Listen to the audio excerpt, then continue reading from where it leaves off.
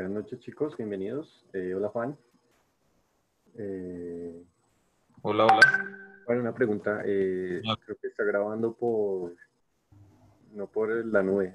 ¿Está bien? ¿se está grabando? Sí, en la nube. O aquí voy grabando nomás, si no, no está la nubecita que le sale normalmente. A mí sí me sale, sí, a ver.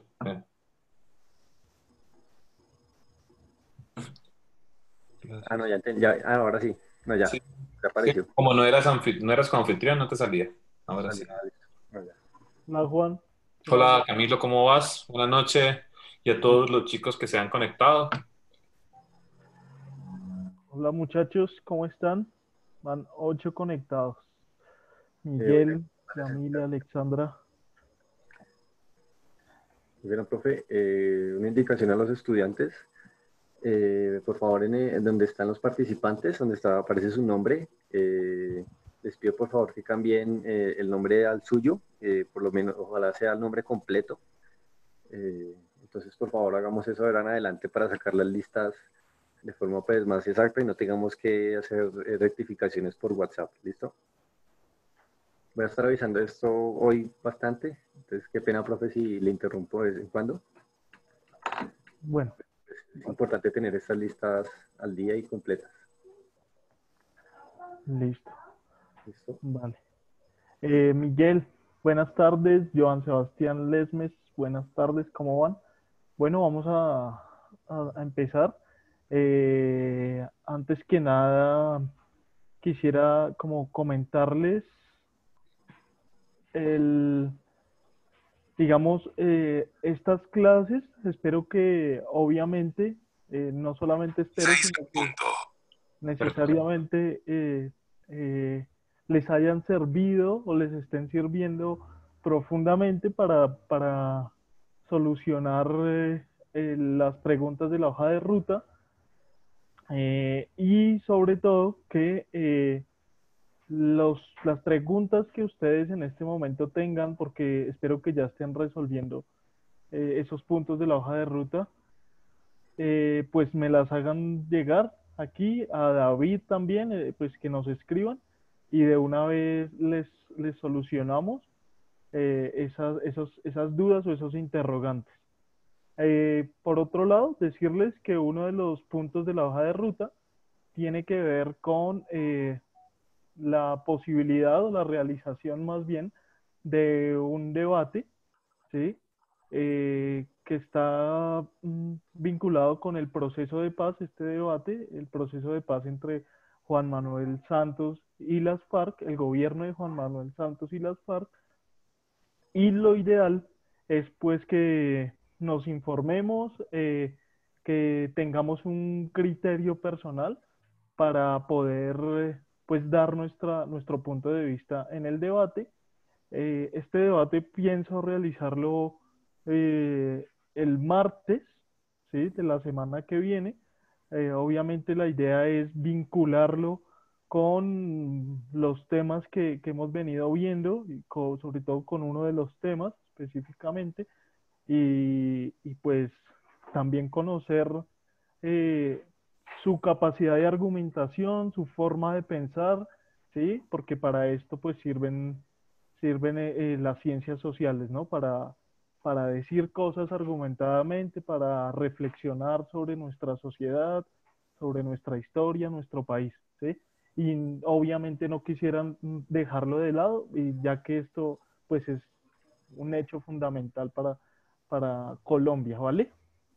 Entonces, nada, quería decirles eso, por favor, entonces, si pueden ir, eh, como está en el punto, creo que es el punto 4 específicamente de la hoja de ruta, eh, ir escribiendo, ir anotando sus, sus argumentos, ¿sí? Eh, y em, poder, antes de, de, digamos, de, de cuando lo realicen, apenas lo realicen, que por favor me lo envíen al correo, a este correo que, que voy a enviarles, para ir revisando, digamos, cuál es la manera en que ustedes están argumentando, sobre todo, pues, si hay coherencia, eh, si son concisos en los argumentos, si están informados, etcétera, ¿vale? Entonces voy, voy a dejarles el correo y ya continuamos con el tema de hoy de la clase. Bueno chicos, les voy a indicar otra vez, ya que llegaron más estudiantes, eh, favor cambien en, la, donde están participantes, eh, están los nombres de todos de la asistencia de hoy. Eh, ahí bueno, voy a pedirles que por favor pongan su nombre completo. yo sé que algunos se están conectando por plataformas de algún familiar o algo así, pero no, por favor hoy o siempre, todos los días, por favor les voy a exigir que eso está actualizado con el nombre completo ya iba a sacar asistencia, ya no lo va a hacer por chat, para, porque yo sé que por chat a veces, como han visto estos dos días, eh, quedan algunos estudiantes sin, sin asistencia. Aunque yo pues yo los pongo al día, pero por favor, para que toda la asistencia quede completa, eh, les pido por favor eso, que, que el nombre completo quede en, en, en, el, en esa lista de, de participantes. Espero me estén entendiendo. Por ejemplo, tengo aquí a Marcelo Muñoz, eh, creo que no sé si él sea estudiante ahorita de ese nombre, sea de algún estudiante o de, algún familiar de ese estudiante, entonces por favor, eh, les recomiendo cambiar eso. Solo es darle en la, en, la, en la, pestañita que dice más y que tiene una flechita azul, eh, en los botones azules, perdón, le dan renombrar y ahí cambian el nombre, por favor, completo. Espero me estén comprendiendo y si no, si no me entienden, por favor también háganmelo saber, saber por el chat de WhatsApp. Eh, sí, vale, por favor, eh, entonces hagamos eso y, eh, recuerden que es importante para, verificar su asistencia. Bueno, y bueno, vamos. y el cambio, lo, de la, lo del debate, ¿no? En la fecha. Sería bueno pues indicarles que va a estar para el martes o vamos a esperar un tiempo más o queda para el martes. Para el, martes que viene, sí, ya, yo creo que podemos hacerlo. Eh, recuerden que es mirar, ver el video que, está ahí en la hoja de ruta, en el punto que, que tiene que ver con el proceso de paz. ¿Ok? Entonces, para el, martes de esta semana que viene, eh, la idea es que ustedes ya eh, me, me envíen, por favor, los argumentos de su posición, me envíen el punto, ese punto sobre el proceso de paz, ¿vale? Al correo que yo eh, al, finalizar la clase, a mi correo, eh, se los voy a, enviar para que porfa todos me envíen, me envíen ese punto, ese punto específico del proceso de paz, ¿ok? No la hoja de ruta, solo el punto del el proceso de paz que vamos a tener en cuenta para el debate el martes. ¿Listo? Ese punto que recuerden que tiene que ver con sus argumentos ¿sí? escritos eh, sobre su posición respecto al proceso de paz entre el gobierno de Juan Manuel Santos y eh, las FARC. ¿Vale? Entonces quiero conocer ese punto de vista de, ustedes. Entonces, bueno, al final voy a dejarles otra vez el, el correo. Mm, eh, lo primero que, quiero que, veamos ahorita en, este, en estas diapositivas de los temas de hoy es esto. Voy a compartir pantalla, por favor, y me dice si se ve. Ahí tenemos eh, el tema de sistemas. Ahí se ve, ¿cierto? Ya. Sí, profe. Listo sistemas socioeconómicos, ¿sí? Eh, y vamos a hacer una cosa, dado que, he venido eh, observando que las preguntas de discusión, estas, que a veces que planteamos en todas las clases, pues en realidad veo que muchos sí las, las responden, pero a veces se quedan ahí como en el tintero y no logramos discutirlas en profundidad y quiero que, nos las tomemos realmente en serio. Entonces, en primer lugar, decirles que estas preguntas eh, las vayan resolviendo ustedes en un papel eh, o, las vayan escribiendo ahí en el chat que tenemos, las respondan. Al final vamos a volver a ellas rápidamente y vamos a, discutir un poco, ¿listo?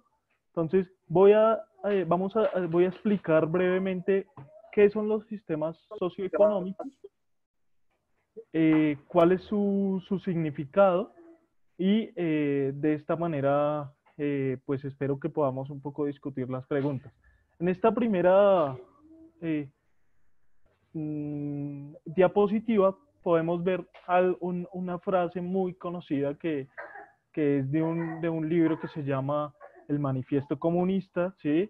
Eh, que tiene que ver con historia eh, y que explica un poco eh, estos sistemas socioeconómicos. Vemos que este autor que se llama Carlos Marx nos dice que la historia de todas las sociedades que ha habido hasta el presente es la historia de la lucha de clases.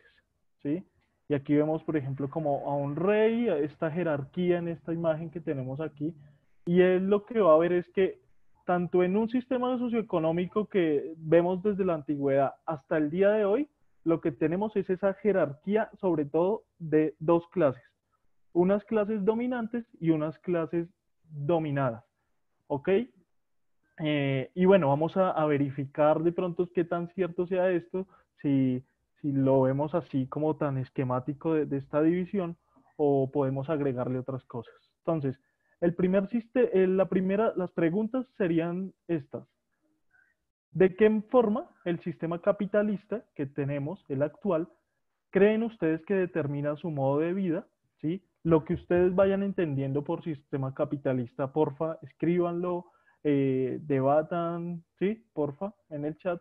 Y la segunda es, ¿cuál considera que puede ser un sistema socioeconómico justo para el mundo? ¿Sí? O si puede haberlo, si, muchos de pronto creerán, no, profe, es imposible. Siempre la sociedad va a ser desigual, siempre eh, va a haber personas que dominen sobre otras, que tengan un poder mayor sobre otras, ¿vale? Entonces, ir colocando ahí sus, sus opiniones y al final las discutimos. Bueno, primero decir lo siguiente, ¿qué es un sistema socioeconómico? Un sistema es como un, orden, ¿sí?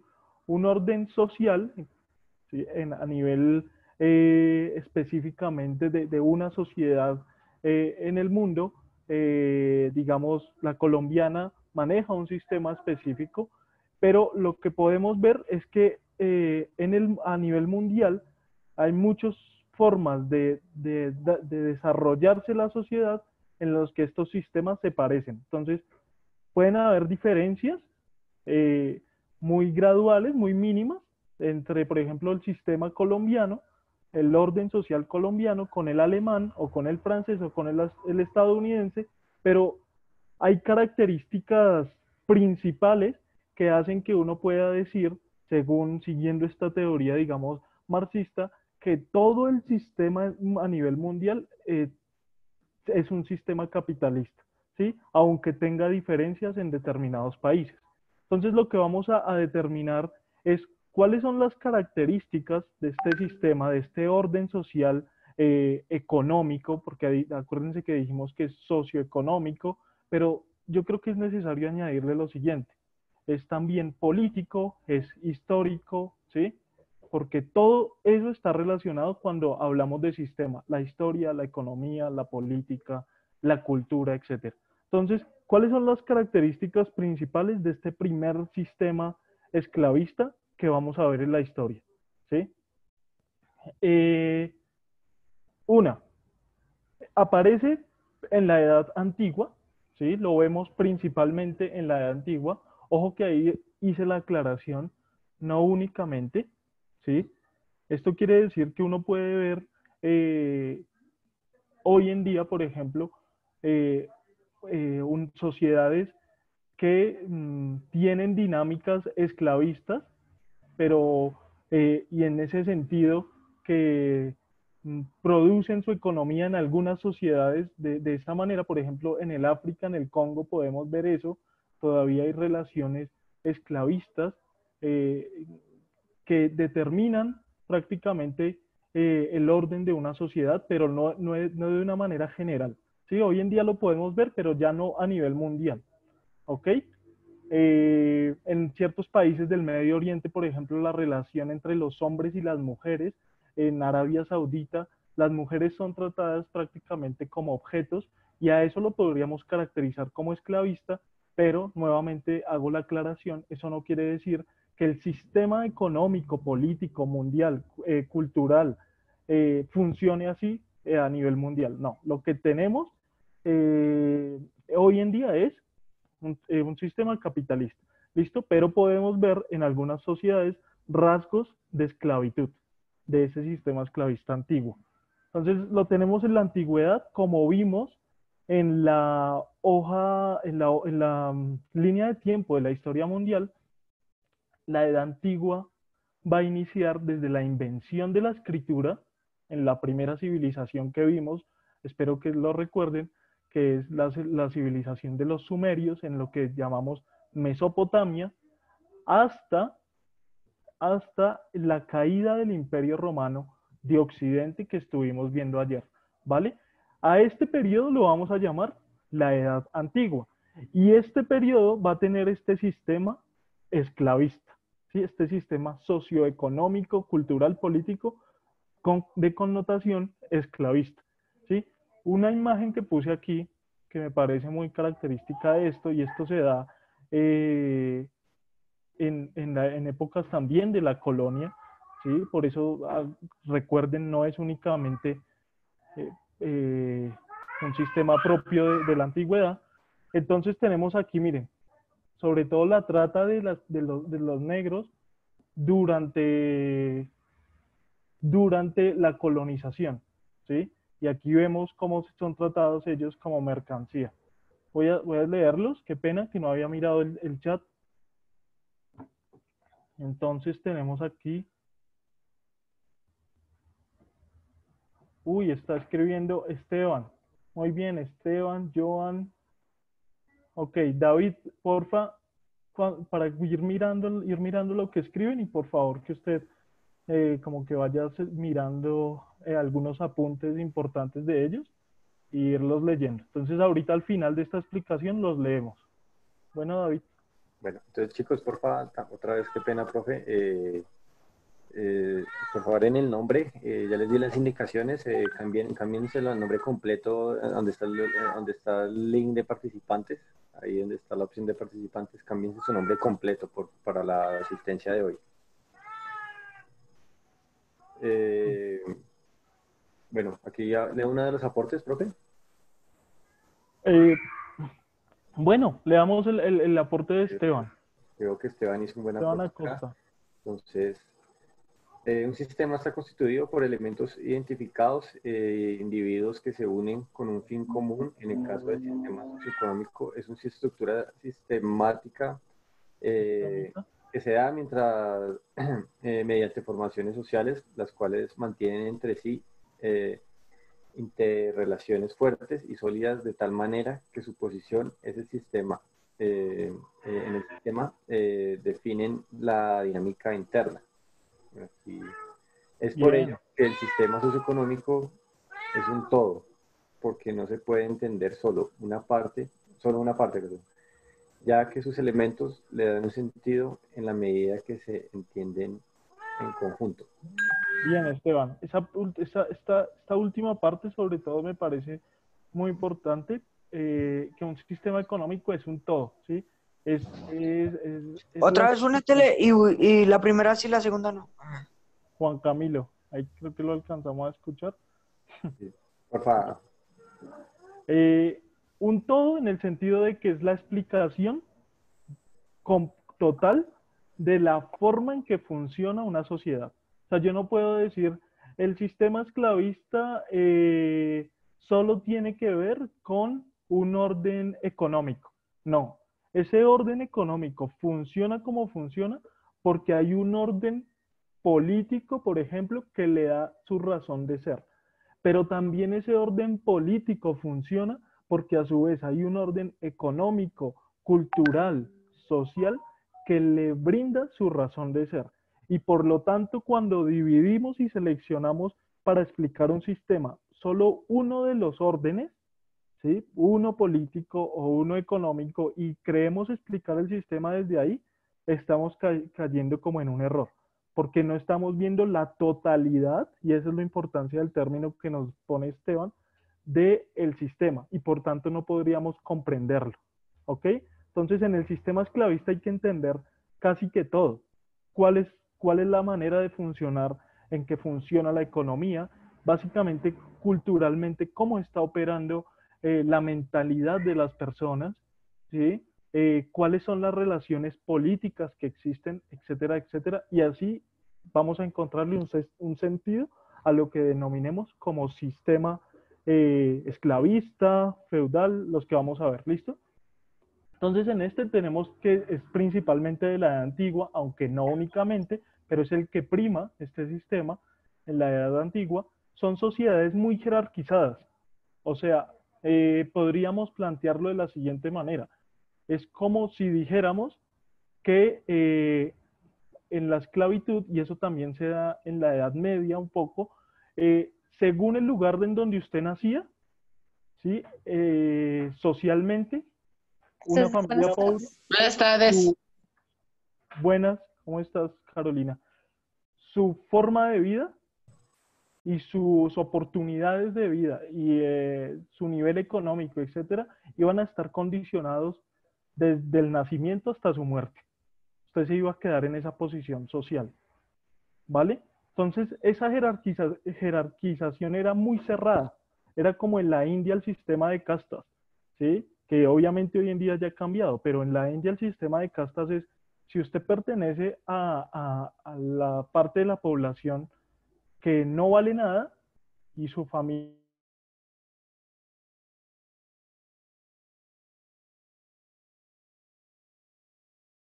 silencio el, micrófono. Sí, profe, no, ya, ya, ya, ya otra vez. Eh, usted debía vivir de ahí desde el inicio hasta, desde su nacimiento hasta su muerte en esa posición. En, la, en el sistema esclavista tenemos prácticamente lo mismo por ejemplo, la consideración de las poblaciones negras, ¿sí? Como, eh, o, de, ciertos lugares en la sociedad, por ejemplo, en la Grecia antigua que vimos, como eh, obvios y necesarios y naturales en una sociedad, ¿sí? No eran solamente los negros, había eh, europeos en su momento que tenían que vivir con esta situación, en lo que llamamos, en lo que vimos como la civilización persa igual, la civilización china igual. ¿Listo? Entonces había esta jerarquía radical. Existe una relación, y esto quiero que lo tengamos en cuenta, entre señores esclavistas y los esclavos en diferentes oficios. ¿Sí? Entonces, no sé, el cultivo de la tierra. Usted era dueño, era parte de mi propiedad, el esclavo, y yo como señor esclavista podía ponerlo a hacer oficios en la tierra, en la orfebrería, eh, a tejer, ¿sí? Porque era usted parte de mi propiedad, ¿ok? Y eh, este esclavista pues mantenía, como decimos, eh, ese estatus en la sociedad de acuerdo a su dominio sobre una cierta cantidad de esclavos. Y, bueno, esto era pues realmente muy triste si lo vemos a la, a la luz de hoy, ¿no? La vida del esclavo le pertenece al dueño de su trabajo, como lo acabo de decir, ¿sí? El trabajo no es de nadie más que, por ejemplo, de el rey, ¿sí? Que tiene un papel importantísimo, o en Roma sería el César, ¿sí? El César delega, puede delegar funciones para el orden social en Roma, pero ¿quién es el que tiene el poder absoluto sobre el trabajo del esclavo? En el fondo el que tiene ese poder absoluto es el rey el soberano. ¿sí? En, Roma lo tenemos al César. En, Rusia, recuerden que dijimos que se llamaban los zares. Esos reyes tienen la posesión del trabajo de los esclavos y delegan su trabajo a ciertas personas, pero en el fondo el dominio del trabajo es del rey. ¿sí? La tierra y el trabajo son las fuerzas productivas fundamentales. Recuerden que si hablamos de, las primeras civilizaciones en la edad antigua, lo, más importante es la agricultura, la ganadería. Por lo tanto, para cultivar comida, cultivar alimentos que necesitamos, la, la tierra, ¿sí? Y para que esa tierra sea productiva necesitamos el trabajo de una serie de personas, ¿vale? Pero como dijimos, habían diferentes oficios, no solo el cultivo y la agricultura, sino, no sé, eh, el tejido, eh, incluso la cultura que tenía que ver, por ejemplo, con, con el arte, ¿sí? el arte en los griegos, las estatuas que vimos, ¿sí? las construcciones arquitectónicas, las carreteras de los, las, las primeras carreteras o vías de comunicación de los romanos con los chinos, todo esto lo hacían personas que eran consideradas esclavos y por eso, y no tenían, importante esto, una, obviamente una participación social y política en, en, estas, en estas civilizaciones, ¿vale? Civilización india, civilización mesopotámica, eh, China, romana, en Grecia también, ¿ok? David, algo que decir ahí, algo que leer respecto, uy, aquí también, a Esteban nos había enviado otra información ahí. Bueno. Bueno, bien, bien, bien, Esteban. Ok, los demás aquí a Luz. Luz Enid Chantre nos dice, tiene orígenes en las antigüedades el desarrollo del capitalismo es un fenómeno europeo, fue evolucionando en distintas etapas. Bien, Alexandra, las jerarquías siempre van a existir. Bueno, bien. Qué pena memoria. Ahora tenemos el sistema feudal, eh, aquí ya cambia un poco las cosas. Eh, esto se da principalmente en Europa, ¿listo? El feudalismo, el sistema feudal. Entonces eso, otro orden social, ¿sí? En la Edad Media, ¿qué es la Edad Media? Desde la caída del Imperio Romano de Occidente hasta lo que denominamos como el descubrimiento de América, y ahí se va a dar eh, la Edad Moderna. Pero el sistema feudal funciona en la Edad Media europea. ¿Listo? Instituciones importantes. La iglesia y el rey tienen el poder sobre sus reinos. Acuérdense lo que vimos ayer de los reinos de los visigodos, de los ostrogodos, de los galos, que van bajando y destruyendo este imperio romano. Estos reinos empiezan a constituirse a partir de la iglesia y el rey. ¿Listo? ¿Cuál es la forma de funcionamiento en, en términos de relaciones sociales? Había un señor feudal y un siervo. ¿Listo? El señor feudal era la persona que tenía un dominio sobre la tierra. Ahí la tierra era bastante importante, eh, pero también habían diferentes oficios, pero el sistema feudal se reconoce principalmente por el trabajo sobre la tierra de parte del siervo. ¿sí? El señor feudal se comprometía a protegerle la vida a este siervo, a alimentarlo, eh, y a, obviamente, a desposeerlo de su producción en la tierra, porque este señor feudal respondía al rey y a la iglesia. ¿Listo? Entonces es importante esto. Los siervos siempre mantuvieron, obviamente, una actitud servil.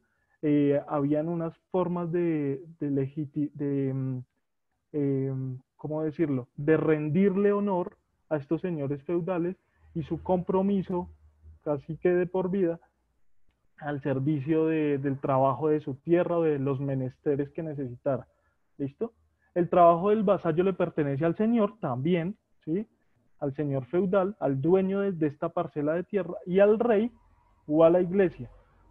Aquí hablamos también del diezmo. El diezmo es el 10% de lo que produce el siervo que debe ser llevado a las arcas de la iglesia y del rey. Esto de ahí viene esta figura que conocemos hoy como el diezmo.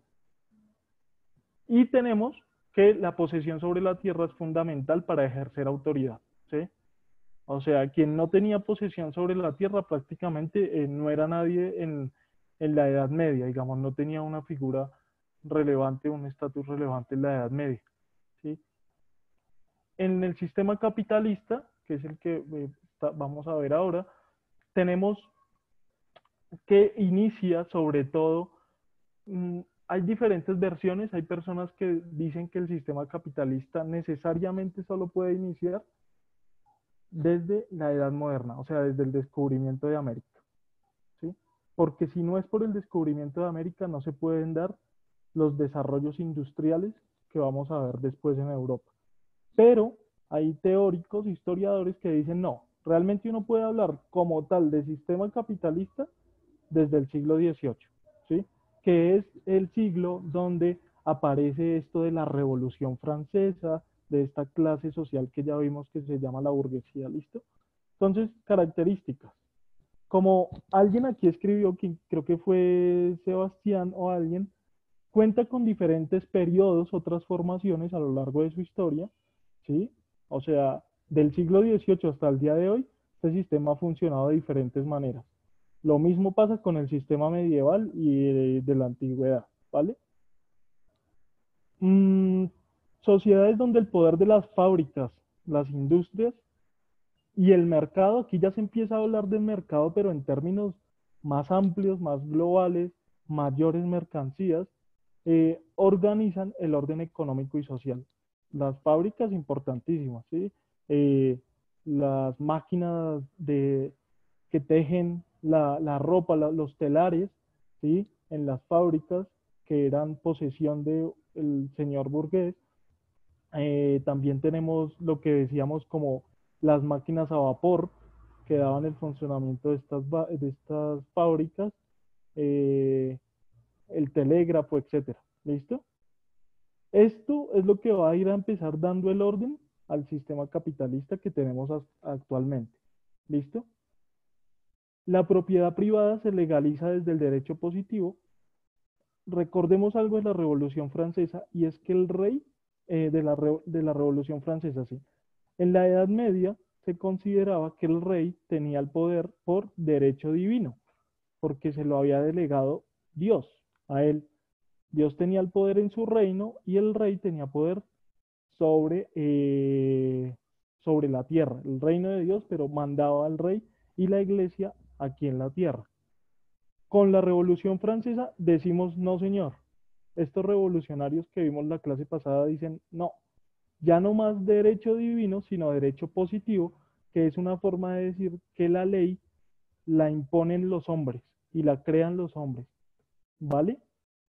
Entonces, bajo esta figura de que la ley la crean los hombres y no la fe y no la iglesia y no un rey, sino que la crean los hombres a partir de su razonamiento, eh, se empieza a constituir algo que se denomina como la propiedad privada.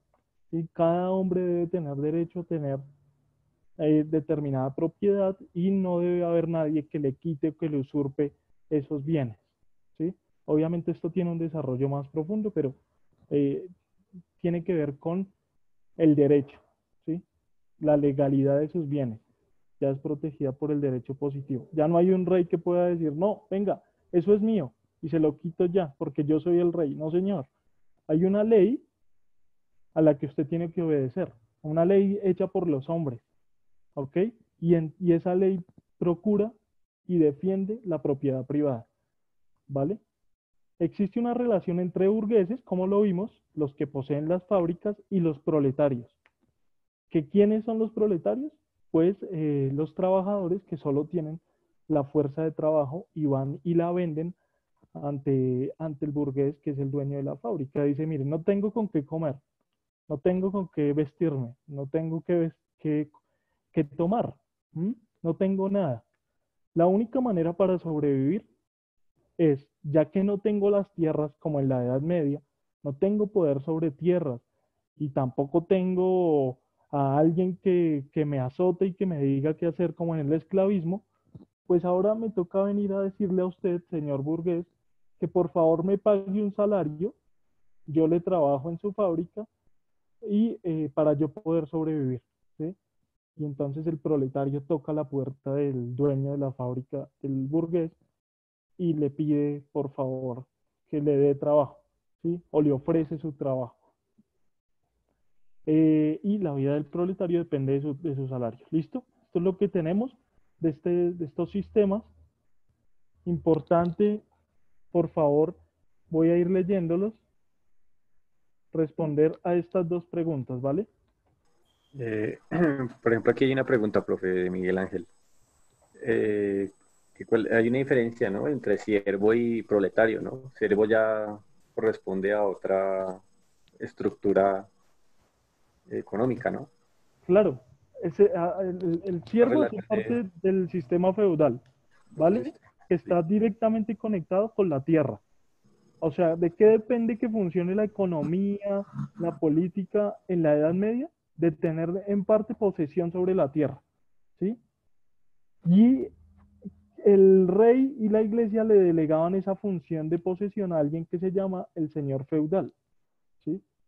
Que era el que tenía el dominio sobre esa tierra. Y entonces él ponía a trabajar a los siervos o a los vasallos en sus tierras. En la edad moderna, en el capitalismo, ¿sí? tenemos otra cosa. Ya donde se trabaja no es en la tierra, sino en las fábricas, en las grandes industrias. ¿sí?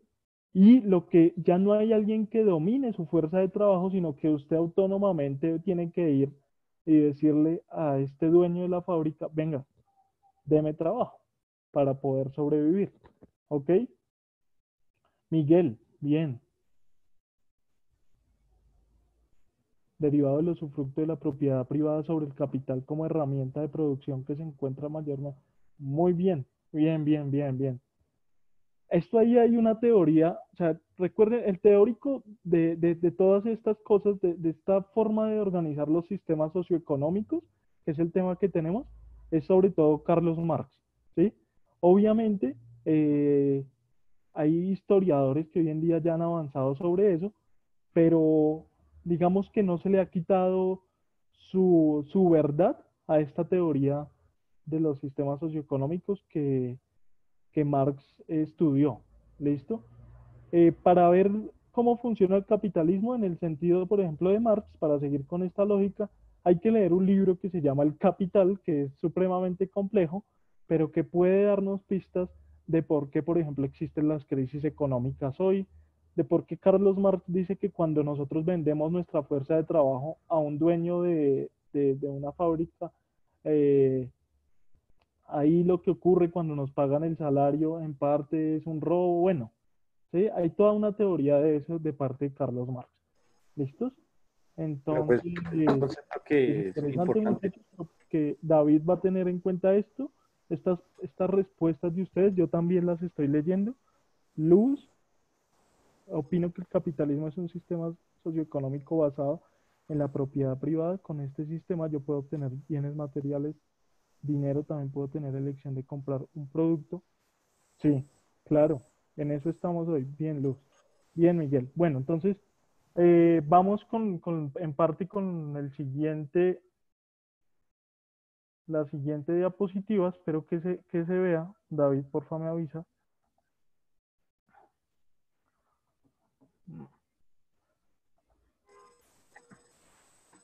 Ahí. Listo. ¿Me ve? Sí, sí se ve bien. Sí, David, ahí se ve bien. Sí, sí, profe, ahí se ve bien. Listo. Bueno, entonces, eh, me encierro acá y ya. Entonces, digamos que esto quiero que lo conecten también con lo que acabamos de ver, que no lo vean como algo que está por allá alejado. Esperen un momento porque no sé por qué me está fallando. Y se ve bien, profe. Sí, pero no sé, no la puedo expandir. Se, se, se detuvo, se trabó la, la diapositiva.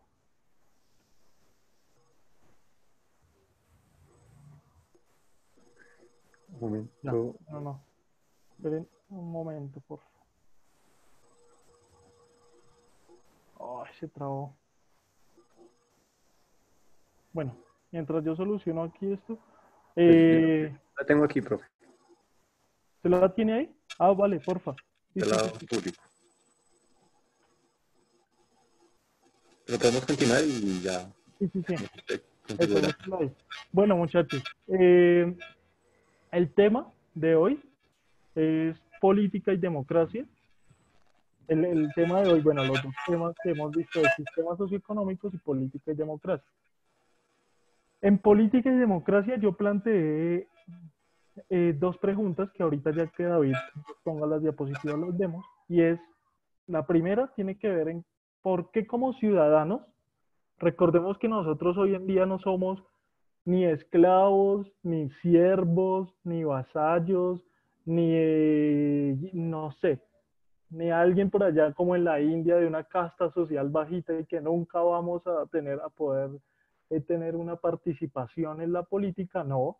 Recordemos que desde el siglo XVIII con estas ideas ilustradas de la Revolución Francesa, lo, empezamos algunos seres humanos, sobre todo los que pertenecemos como al, eh, digamos, al pueblo y que no pertenecíamos a, la realeza, eh, y algunos intelectuales empiezan a decir, no, nosotros no simplemente somos eh, esclavos o somos vasallos o, proletarios ya en, ya en el siglo XVIII, ¿sí? que tenemos que trabajar y ya.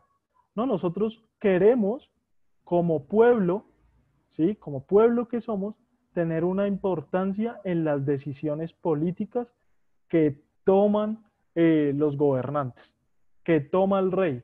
Y por ejemplo, por eso se empieza a hablar de una monarquía constitucional. O sea, los reyes ya van a tener, o monarquías parlamentarias, los reyes ya no van a tener un poder absoluto, sino que va a haber una serie de personas que mm, pues a principios en el siglo XVIII no son eh, pues los, de, los, campesinos, pongamos, no, sino son gente ilustrada, un poco educada, ¿sí? alfabetizada, que van a empezar a, decirle al rey, usted no puede hacer lo que quiera, aquí hay unas leyes, lo que vimos del derecho positivo, ¿sí? Eh, unas leyes creadas por los hombres a las cuales usted tiene que obedecer. ¿sí? Entonces eso es una monarquía parlamentaria. David, ¿ahí ya se puede o no?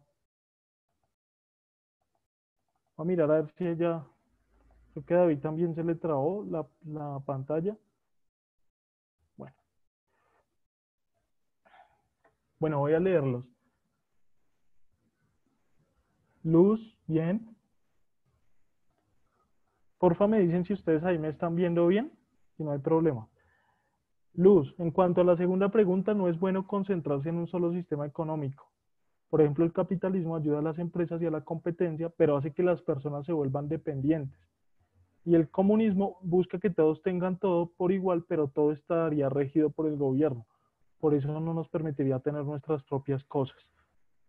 Mm, sí, una cierta visión de lo que es el comunismo y cómo lo hemos vivido.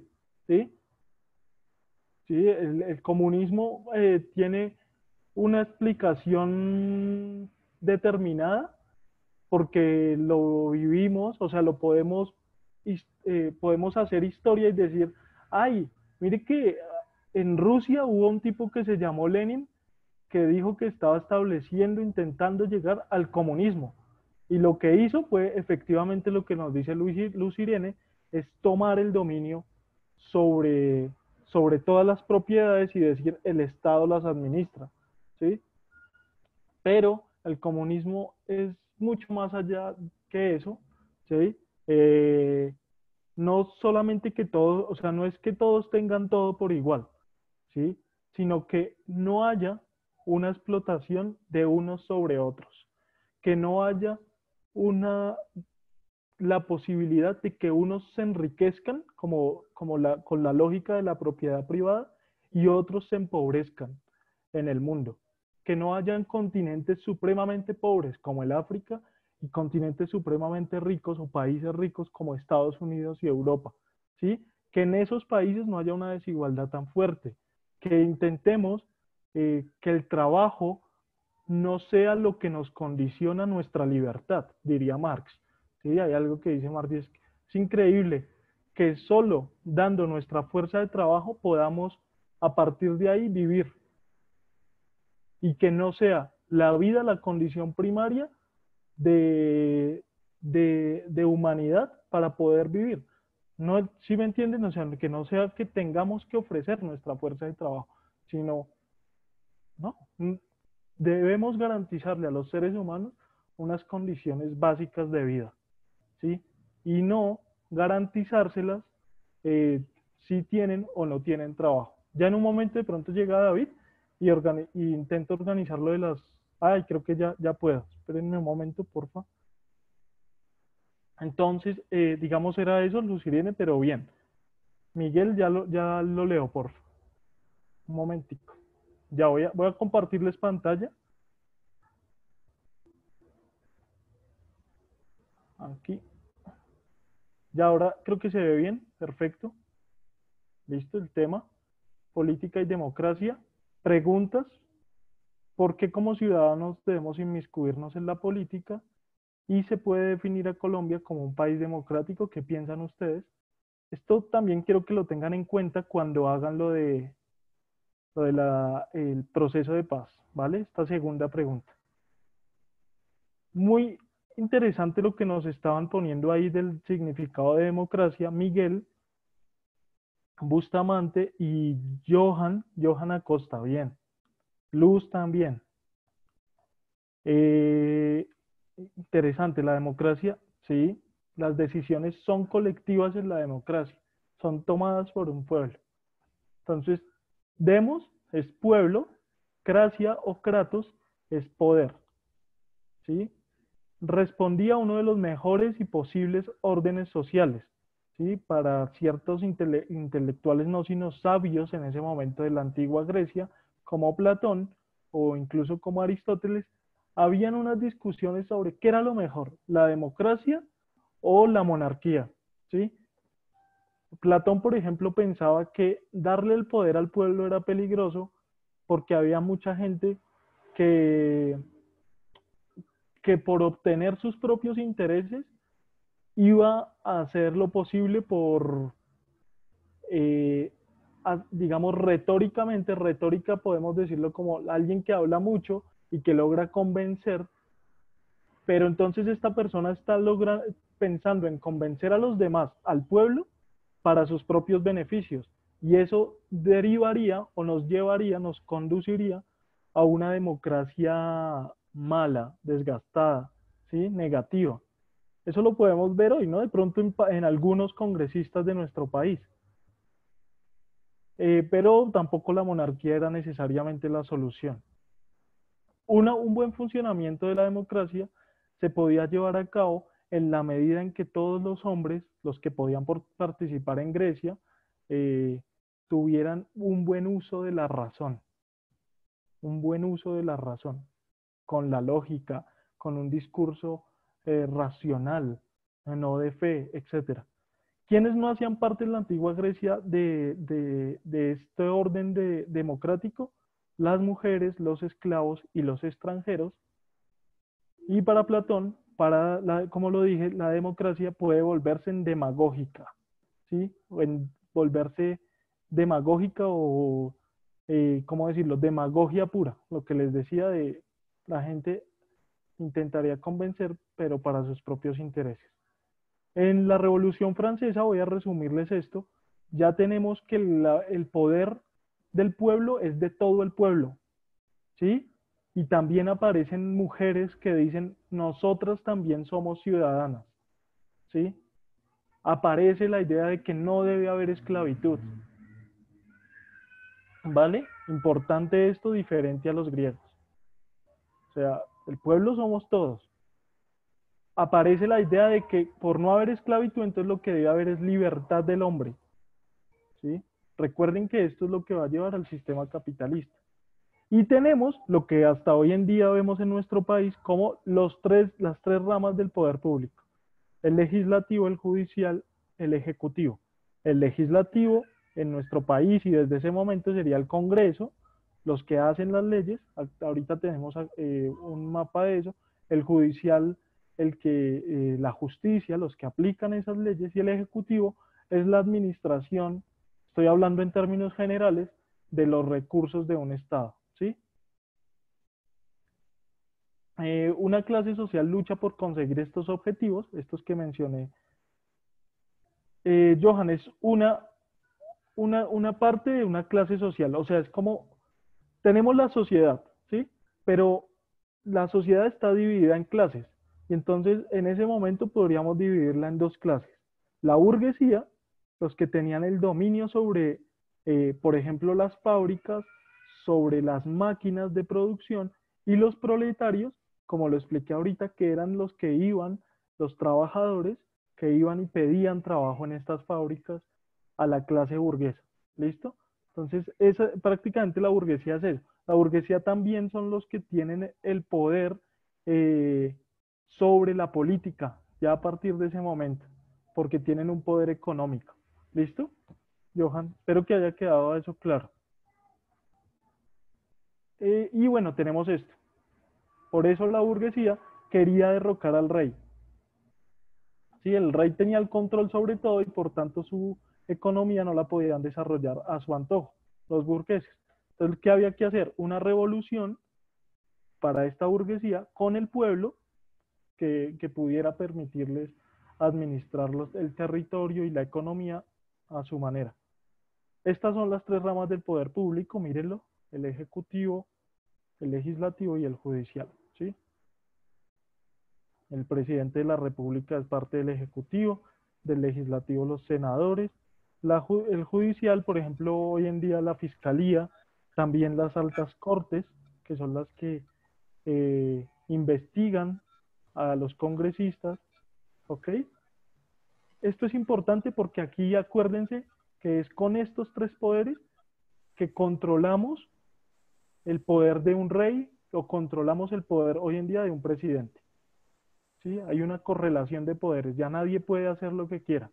¿Sí? Hay algunos países en los que no funciona tan bien, como en Colombia, donde, por ejemplo, eh, prácticamente el Ejecutivo logra comprar mm, senadores que, les aprueben las leyes que el, que el gobierno necesita, ¿no?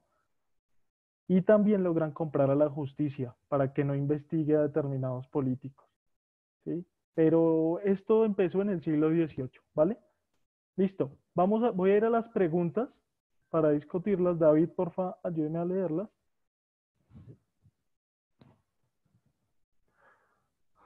¿Sí se escucha, David?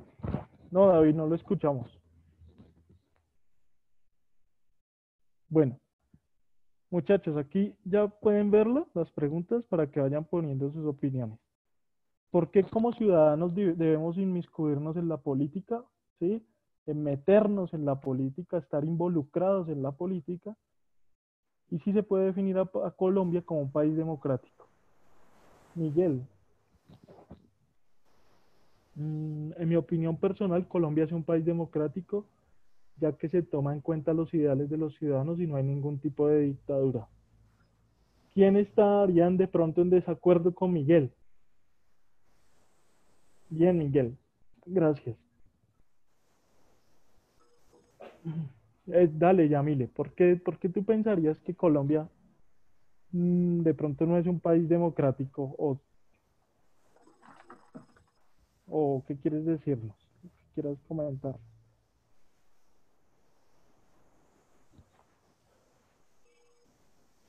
Es importante esto porque, porque es para eso que nos sirven estas clases, para saber, bueno, como país, todo esto se lo inventaron allá los griegos, después los franceses, y nosotros tenemos eso, ¿y cómo lo hacemos funcionar? Es que, eh, ¿se oye, profe? Sí, David, ya, ya lo escuchamos. Ah, ok. Colombia es constitucionalmente es democrático, ¿no? Que pues, tener en cuenta que si tenemos una constitución que pues se basa en democracia, ¿no? Pero el problema es que hay leyes, eh, todo el tiempo se construyen leyes, ¿no? Que como que adaptan esa constitución a ciertos beneficios eh, de un mercado o, algo, o una necesidad de algún grupo particular de, de, políticos, ¿no? Y la misma democracia ha permitido como ese... Ok. La formación de la constitución de manera como tal vez indirecta, ¿no? Vale, vale, vale. Bien. Sí, sí, sí. A mí me parece, sí, yo, yo, digamos, nuestra constitución puede garantizar muchos derechos.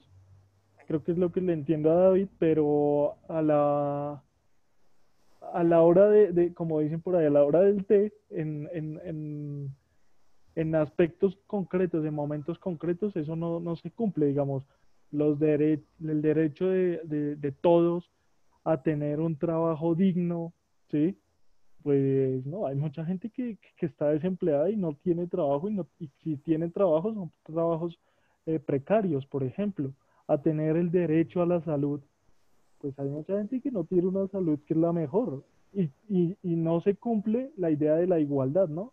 Bueno, eso de pronto lo discutimos después eh, en, en otra clase para ampliar mejor la definición de democracia. Voy a leerlos a ellos. Ya contamos por ocho minutos, entonces vamos a, a recoger ¿Cuál? aquí. Voy a leer, al, ah, bueno, David, por favor. Léalos ahí, por favor. Carlos Adrián Forero, para mí la primera pregunta es, para elegir a las personas las cuales van a llevar eh, las riendas de nuestra nación. Eh, Luz, Luz, Ednit. Primero ejercimos el derecho al voto y nosotros elegimos nuestros gobernantes. Eh, Yamile, Bien. Que hay unos políticos que manejan, eh, manejan a su beneficio. Y, y Miguel, también Colombia es un país democrático porque tiene, tenemos derechos al voto. Pero democracia de todas formas es una palabra muy amplia, ¿no? O sea, no es netamente el voto, o sea, el voto tal vez es una parte, ¿no? Exacto. Eso Pero es lo ¿qué que... la democracia. Sí, la democracia es algo más amplio, pero eh, esto que nos está diciendo aquí eh, Luz es, hace parte bien, el derecho a votar. Elegimos unas personas que nos representan. Yamile dice hay unos políticos que manejan a su beneficio. Yamile, beneficio con B larga, ¿vale? De pronto en muchos momentos los voy a molestar con la ortografía y con el ánimo pues de, de aprender, ¿no? A todos. Eh, David, mm, David, no sé. Creo que los demás sí me escuchan bien. Eh, Carlos, Colombia sí es un país democrático. Porque elegí su gobernante.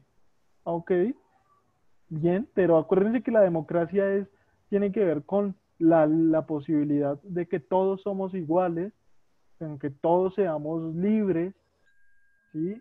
De que tengamos las mismas posibilidades eh, en nuestra sociedad, de llegar a la política, de, de- ser elegidos.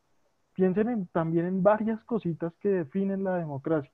Miguel, Colombia es un país democrático porque tenemos derecho. Bien, pues sí, sí, sí.